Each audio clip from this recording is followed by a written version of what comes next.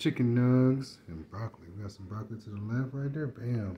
And we got some chicken nugs with some BBQ sauce right here. So look at the chicken nugs real quick. Let we drop this dinner mukbang in a minute, and we'll have another dessert maybe coming soon. So y'all check it out. Peace.